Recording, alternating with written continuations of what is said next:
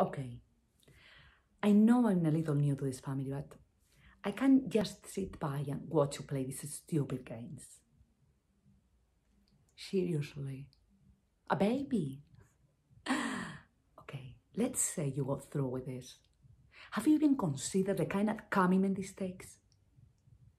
Are you going to do it naturally or artificially? Really? With a man? Anyone you know? No. So what you are saying is that you have to find some random guy who is willing to impregnate you and let you and your girlfriend raise his child. okay. How old are you? 20? Could you at least wait until you and your girlfriend have been together for a couple of years? I mean, just to make sure.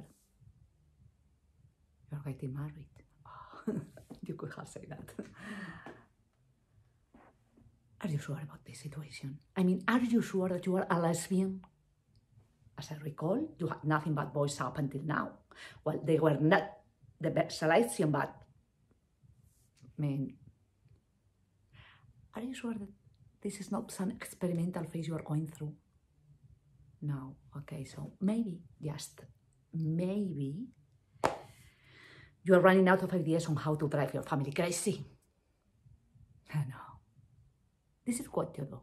Every time that we have a family get together, you drop out some ridiculous bomb just uh, so you can shock your mother. Last Christmas, you told us you joined the gang. Over Easter, you took up your talk in front of the whole family just to show us your devil tattoo. And every time your mother ends up in her room crying. Trish, you need to think about this. Bringing a baby into this world is not a joke. It's not something you can do on a whim, and it's certainly not something you can do for shock value. Yes, you're right. Absolutely right. I decided to got into this family, but you know, quiet. There's nothing wrong with this family except you.